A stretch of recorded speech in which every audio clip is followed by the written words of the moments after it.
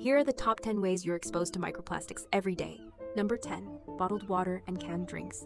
Bottled water has up to 100 times more plastic than tap, and most canned drinks are lined with plastic. Number 9. Food packaging and plastic wrap. Plastic containers and wraps shed microplastics into your food, and heat makes it worse. Number 8. Indoor air. You breathe in thousands of plastic particles daily from clothes, furniture, and dust. Number 7. Tap water. 94% of tap water samples contain microplastics. Number 6. Canned food. Most canned foods are also lined with plastic. Number 5. Synthetic clothes and laundry. Every load sheds plastic fibers into the air you breathe and onto surfaces.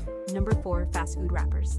Greasy food breaks down the plastic coatings, and then you eat it. Number 3. Tea bags and coffee cups. Many tea bags and coffee cups shed plastic especially when exposed to heat.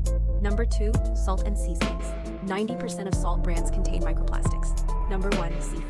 Studies show shellfish eaters consume over 11,000 plastic particles per year.